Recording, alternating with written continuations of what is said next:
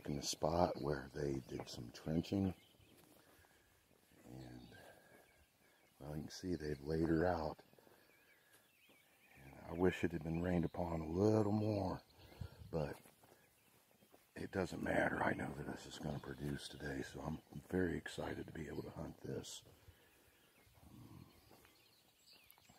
it's a good spot, so I could find points, all kinds of different kinds of tools. Very excited. Um, I'd like to start out by saying, hey to everybody, thanks for watching.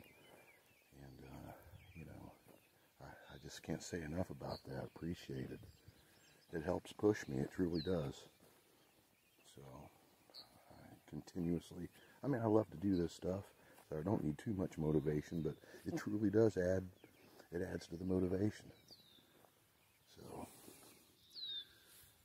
um, yeah, I just wanted to say I appreciate that and thank you.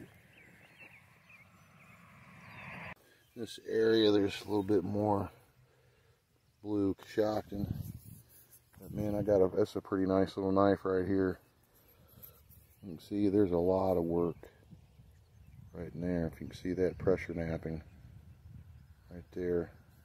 This is a spalled off a core flake knife that's uniface. Um, it's got a little bit of a medial ridge on the up front. That's pretty nice. It's thin and very sharp, everybody. Very sharp. Yep, that'll hurt you. So I have to be careful with this. You don't want to go reaching around and you know, run your finger across that with some pressure on it because your day is going to turn from good to bad real fast. See some good looking material, everybody. Looks like that's heat treated. Uh, so, um, this hill, there's a hill right here this hill, that's where I found that really nice drill bit back around my birthday. So I'm, I'm below it. What happens is, is that through the process of erosion, and when they drag that hill, a lot of this stuff gets pulled to the bottom of it. So I'm hitting this, and I got a pretty nice artifact out of that batch right there I cannot complain. That's pretty nice. There you go, everybody. I'm to keep at it. See you. And I got another one. This one's got a little bit more chunk to it, but nonetheless, same flint, uniface knife.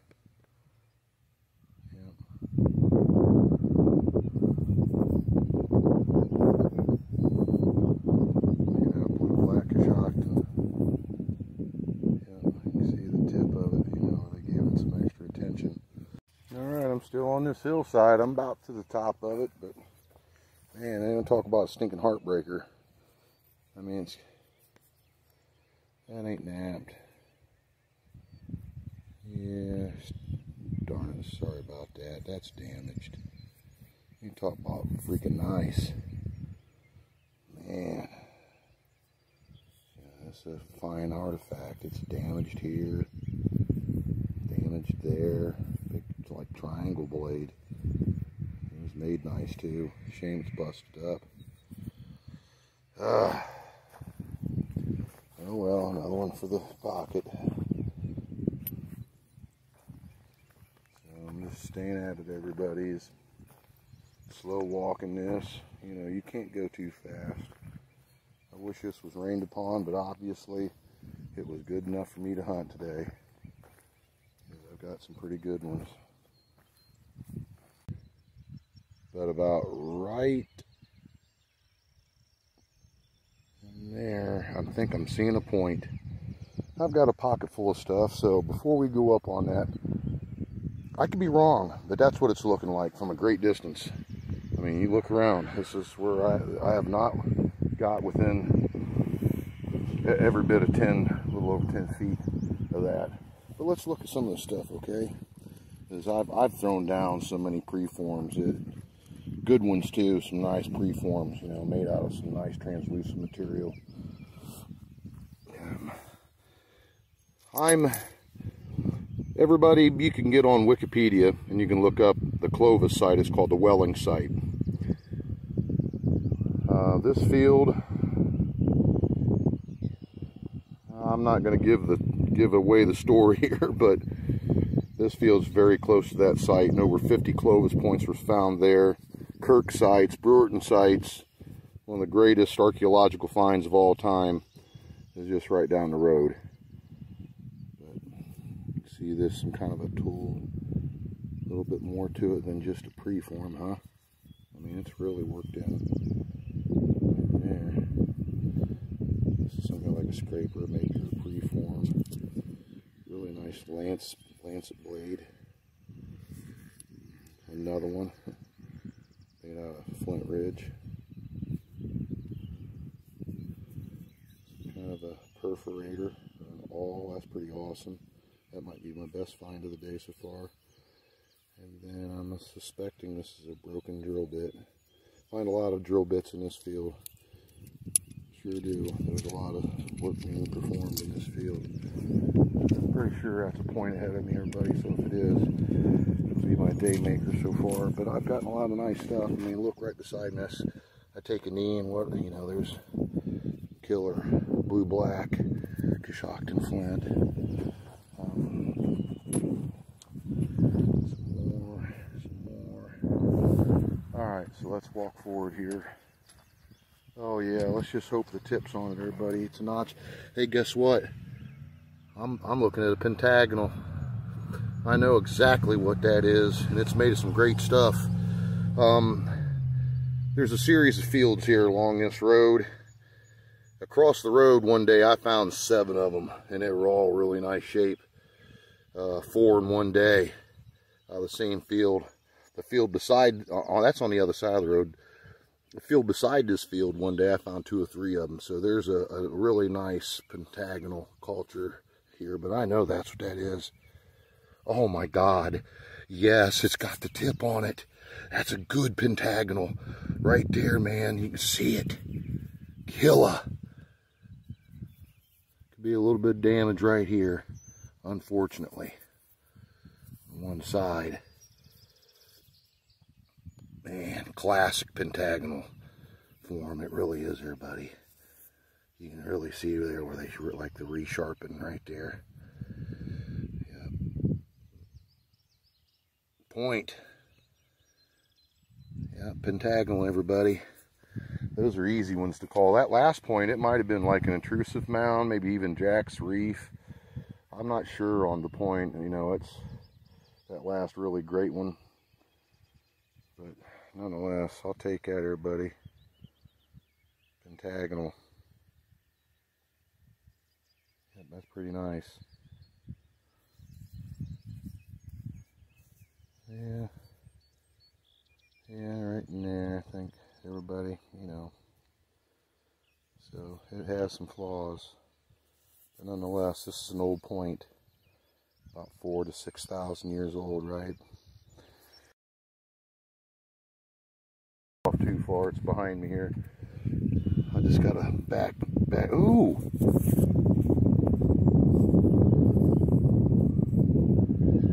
It's worked on. Yeah, flower garden piece. Just a big, worked on something not very fine. You know, but a lot of material on the ground, everybody in this area. So let's go back. I can see it over there. I know it probably is going to get my feelings hurt, but it had some nice looking work on it, so it could be, I, I don't, it's, you know, maybe it's a break right there, I don't know. Let's pull it everybody, see, let's see what happens. Uh, what I tell you, great big killer knife, busted. Tip's gone, probably a little bit of damage right there. Could have been a huge point, I guess, maybe. But I'm going to say knife. Anyhow, another broken artifact. I can't complain. I've got that pentagonal in my pocket. And it's a pretty nice point. I mean, it's, you know, I like pentagonals. They're an older point. And, well, thinking about it, it's made of the same material as the drill bit that I found back in, what, uh, February or January. We came out of here. It's made out of the same stuff. And there it is, the same stuff. Broken preform. oh well, I gotta get back at everybody. I don't want to suck up all the video time showing broken stuff. I mean, I could do that all day long. Imagine some of you would like to just go on these hunts with. Look at that core. That's an artifact. It's just, it's everywhere here, buddy. You know, why do you walk past that? I mean, man, I've got, you know, hundreds and hundreds of pounds of cores and big blocks of flint. So sometimes I take it, sometimes I don't, but considering that I'm that far away, I'm very far away from the truck. I ain't carrying it. Yep. So, alright, I'm going to get off here. I'm just staring. This guy right here, like, it's a scraper and, all, and everything, you know, all the work's done right here. So, some kind of like a shafted scraper. This, this is going to clean up real good. Look at that straight edge. Really nice looking work Come on, you junk. Yeah, this camera, everybody, is a piece of crap. You can see the chipping. See what I'm saying? Look at the focus, how it's not working with me. Nonetheless, right there, you can see it.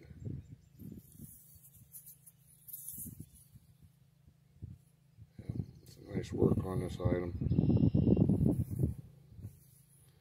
Knife scraper, something that's pretty cool. So I'm finding them. I have that point in my pocket as well. So, um, see here, buddy. Yeah, I've got a little bit of hunting to do today. well, I'm gonna get back at it. See ya. Well, everybody, what I think I have in my hand here is a bi-point, and I found them in this field before, and I'm pretty sure that's what that is, a big bi-point. It's worked right there. It's worked right there. Oops, sorry about that. Right there and right there. I think this is Burend. And then they got the on the other end there. See all the work on it. Well, no, that's broke. No, I don't think so. I think that's Burend because if this was broken, then why is it all the extra work right there on top of where the alleged break would be? I don't believe that.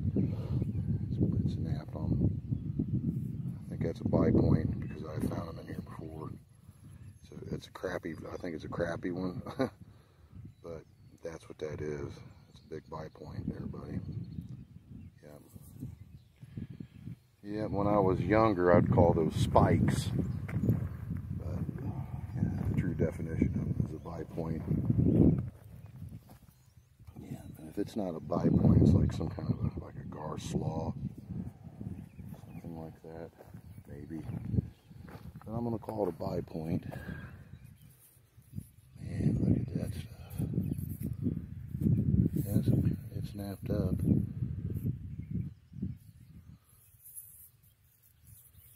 Yeah, let's take that in my pocket. Flake, like a flake blade.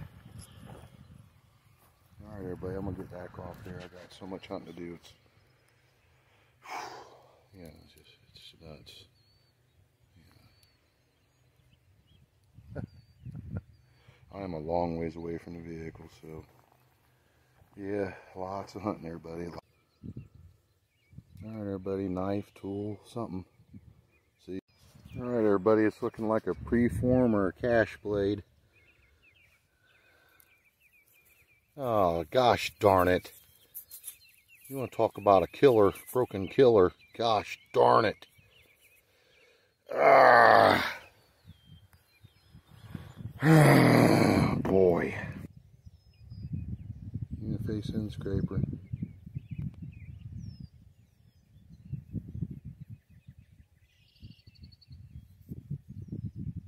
Pretty cool. See, made out of bluish black Coshocton. It's a nice work. Did some nice work on that. Very nice little knife.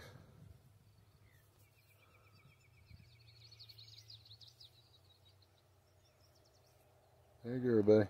Knife.